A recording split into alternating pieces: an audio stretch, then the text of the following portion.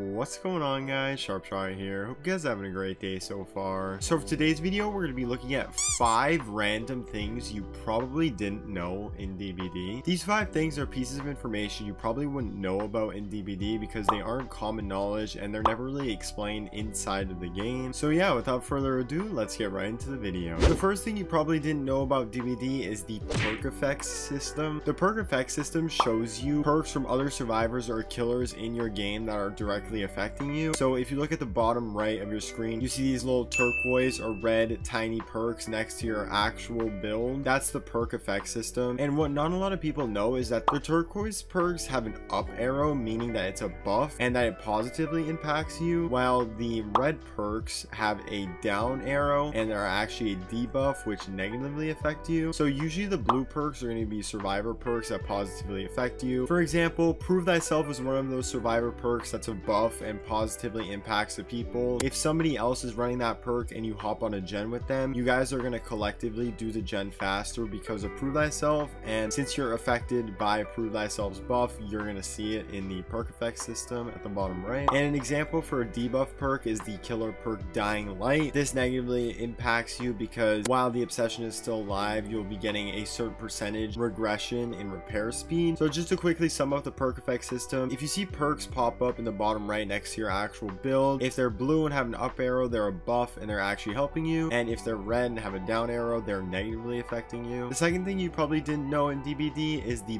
blood web mystery boxes. Mystery boxes are a type of node in your blood web that basically just looks like a birthday present. And when you open it, it gives you a random unlockable of the same rarity of that mystery box or has chances of giving you any unlockable of the rarities above it. For example, if you have an uncommon uncommon or yellow mystery box, you'll have a chance of either getting an uncommon unlockable or any rarity above uncommon. So here's the chart I'm going to put up on the screen of the percent chances of getting a specific rarity in a specific mystery box. As you can see, if you get a common mystery box, there's still a 1% chance an ultra rare unlockable is going to pop up. So if you see these mystery boxes in the blood web, definitely buy them because you can save some blood points and actually get a rarity above the thing you paid for. So it's a pretty good deal. The third thing you probably didn't know in DBD is your specific rank after rank reset. On the 13th of every month, rank reset occurs where you basically get set back to a further rank. But what a lot of people don't know is that depending on what color rank you were, you're always going to get reset back to the same rank. So as you can see in this chart, if you get to the red ranks, no matter what rank you're in, you're always going to get reset to rank 5. This is actually pretty cool if you're rank 4 4 and then you get reset to rank 5 so you only reset one rank which is not a big deal at all but it kind of stinks if you were rank 5 for example and you get set back all the way to 9 if you're about to hit rank reset and you have a couple days left to grind pay attention to what rank you are right now. And if you want to try and grind to the next color rarity so that you won't get reset as hard you should definitely go ahead and do that. The fourth thing you probably didn't know is that you can actually disable Noed. Noed is a hex perk where whenever the exit gates get powered, or in other words, whenever all five gens have been completed, a dull totem becomes a hex totem on the map, and every survivor on the map gets the exposed status effect, which basically means the killer has a one-shot ability with their M1, so they can just one-shot down you, which is terrible for the survivors who are just trying to escape. This can be a really strong perk for the killer, depending on what killer it is in the late game, and can really screw the survivors up, but not a lot of survivors know that you can actually completely disable Noed from even activating in the first place. All you have to do is cleanse all five totems on the map. This is a pretty tough feat to do, especially before all five gens have been completed. But if you do go around the map cleansing all five totems, there will be no dull totem for Noed to spawn on. So you can actually cancel Noed from even spawning in the first place, which is really, really good for the survivors and saves you a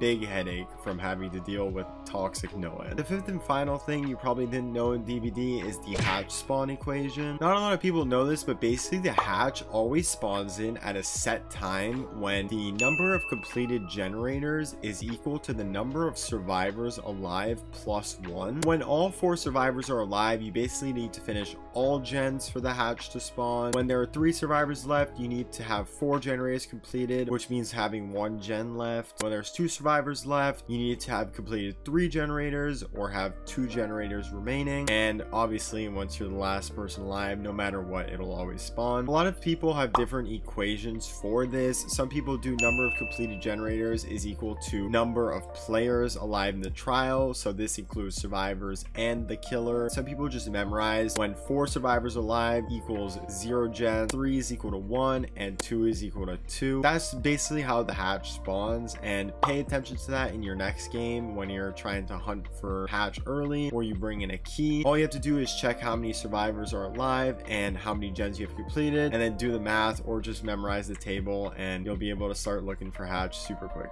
So yeah guys, those are the five things you probably didn't know in DBD. Let me know in the comments if you didn't know at least one of these. I would be surprised if any of you knew all five of these, but if you did, kudos to you. And let me know any other ah. tips or fun facts about DBD that you think other people won't know about. I'd be really interested to see what little fun pieces of information you ended up figuring out in DBD. So yeah guys, that's been the video. Thank you guys so much for watching. Leave a like and subscribe if you're new. This has been Sharpshot, and I will see you guys in the next video.